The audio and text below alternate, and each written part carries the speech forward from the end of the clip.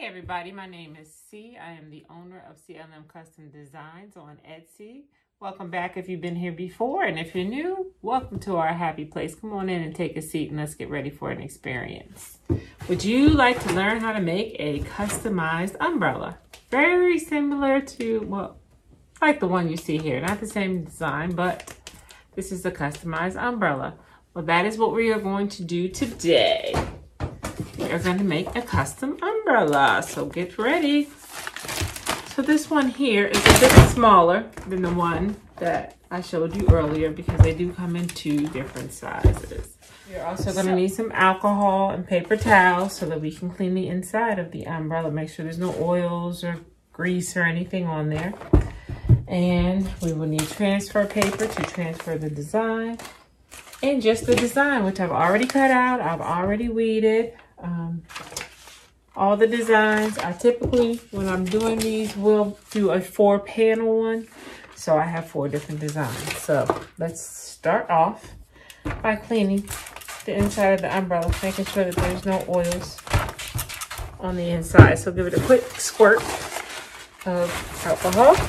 And we're just gonna wipe that down with a paper towel.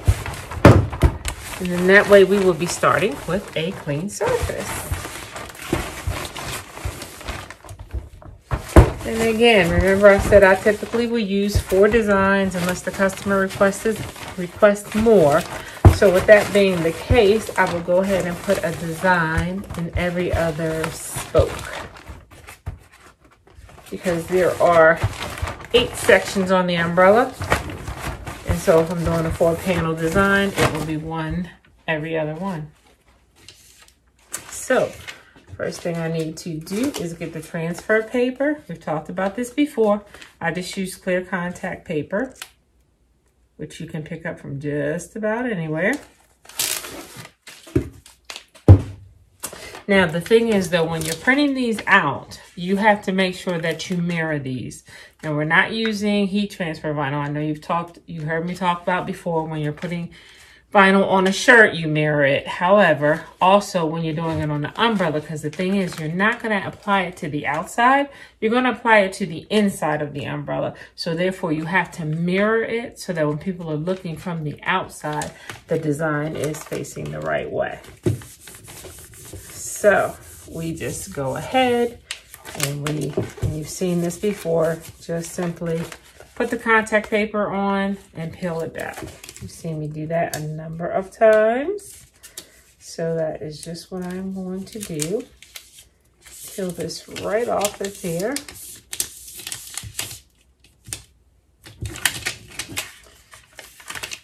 And voila, it's on the transfer paper. And now we can go ahead and put it on the umbrella. Again, just check to make sure again that everything is dry. And you want to pick your point where you want to put um, the design at on the umbrella. I'm going to tilt you down so you can actually see what I'm doing.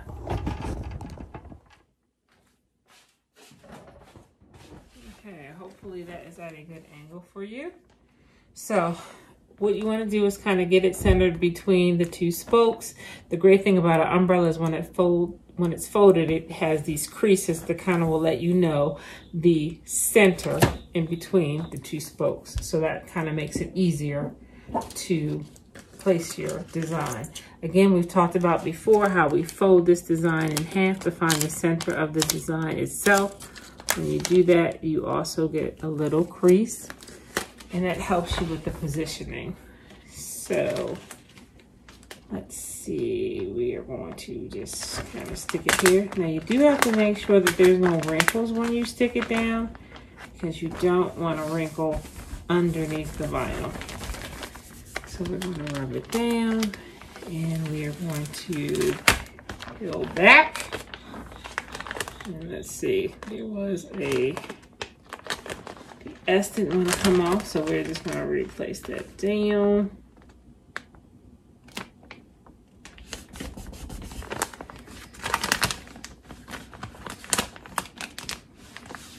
There we go. Place down. And so now, as you can see, we have one panel done. I will show you everything completed when we have all four of these stuck down. I will be back to show you the complete design. Finished. I have uh, given my vinyl a little blast of heat. You know I like to do that just to get that glue or adhesive on the back activated so it can get a really good stick. And we are all finished. So I'll give you a close-up. There's one side, second side, the third side, and the fourth side. So now this is all completed. Ready to go. I can fold it up with no problem. The vinyl's in there. And this will last a really, really long time. As a matter of fact, um, this is a repeat order. I had made the exact aim, the exact same umbrella for a client. Oh, I'm going to say probably oh, a year ago, maybe nine months ago. Um, and just now it has gotten to the point because she uses it so much where some of the little pieces have started to come off. Um, so she requested the same exact umbrella. So of course I made it for her again. This one I have had probably, oh, because this was the very first one that I had done. So maybe a year and some change. Um, and it just says, know if you can see it, Dance in the Rain. And it's got the lady dancing. And of course it's purple because you know it's mine and that's my color. So yeah, it's lasted a very, very long time. So I don't have these up on my website yet. I am going to put them up there shortly. I had to get new packaging in order to be able to ship them out. So I think I have finally secured that. So they will be going up on my website. Um, I wanted to show you my shirt as I like to do with every video. Says big, middle, little. This is for my siblings. I am the middle one. So I made this for us when we uh, got together for the family photo shoot. So yeah, um, that was things that I made. So anyway, I hope you've enjoyed yourself today. I hope you learned something. If so, please share this with someone else that you think can benefit from it. Also, hit that subscribe button. That really helps the sister out. Appreciate you much. Doesn't cost you anything. It's simply free. Hit the button. Also, the notification, and then that way you will not have to miss it anytime I drop a video, which technically you can find my new content every my new content every Monday at 4.30. So until I see you again, be safe. Bye-bye.